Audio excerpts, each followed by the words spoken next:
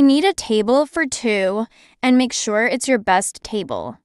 I'm expecting an important guest. Welcome to Chez Gourmet. I'm sorry, but all our tables are reserved tonight.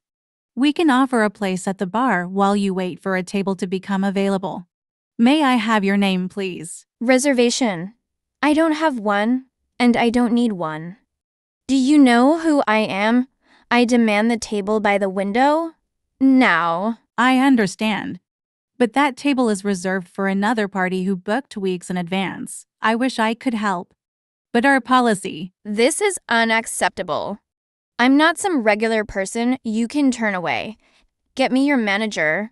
Now. Good evening. I'm Alex, the manager. I understand there's an issue. How can I assist you? Finally, someone with authority.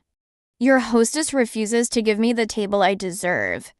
I want the best table, and I want it now. I'm sorry for any inconvenience. However, we pride ourselves on fairness and our reservation policy. The table you're asking for has been booked in advance. What I can offer is a seat at our exclusive bar area, and we'll prioritize the next available table for you. This is outrageous.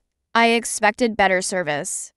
I should be treated with the respect I deserve. Respect is fundamental to us, both for our guests and our policies. The choice is yours. Enjoy our bar area with a complimentary drink while you wait, or if this doesn't suit you, we'll understand if you choose to dine elsewhere tonight. Fine, I'll take the bar, but remember, I expect the first available table and make that drink a good one.